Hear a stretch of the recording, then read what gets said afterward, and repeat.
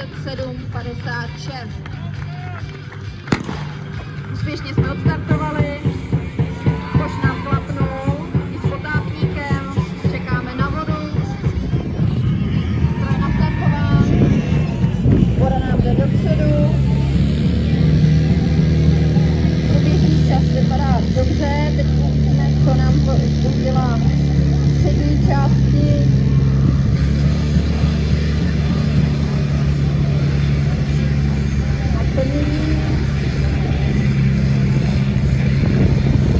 Takže pravý proud.